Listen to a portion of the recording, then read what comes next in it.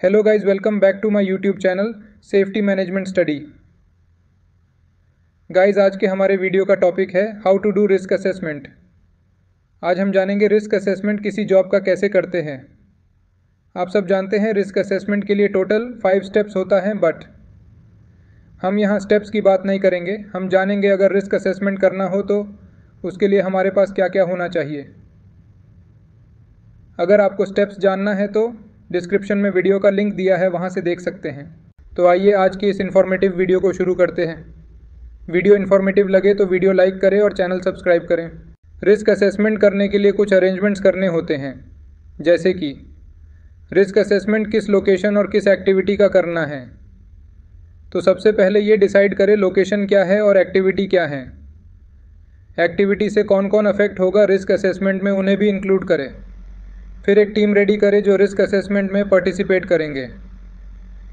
कुछ डॉक्यूमेंट्स भी चाहिए, जैसे कि risk assessment format. Risk assessment format का लिंक डिस्क्रिप्शन में दिया है, आप डाउनलोड कर सकते हैं।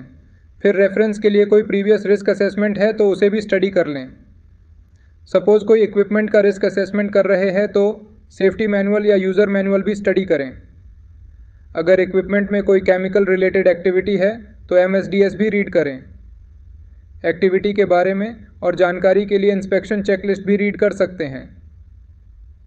इन सभी डॉक्यूमेंट से आपको इक्विपमेंट से रिलेटेड क्या हैज़र्ड्स है और क्या प्रिकॉशन लेना चाहिए ये पता लगेगा। सभी डेटा कलेक्ट करके अभी टीम के साथ लोकेशन विज़िट करें। ऑन साइट देखें क्या पॉसिबल रिस्क और हैज़र्ड्स है, उन्हें कैसे कंट्रोल कर सकते हैं। सारी फाइंडिंग्स रिस्क असेसमेंट फॉर्म में फिल करें। रिस्क असेसमेंट फॉर्म फिल करते समय या रिस्क असेसमेंट करते समय रिस्क असेसमेंट के सभी स्टेप्स और कंटेंट्स का ध्यान रखें। तो इस तरह से रिस्क असेसमेंट कंप्लीट कर सकते हैं।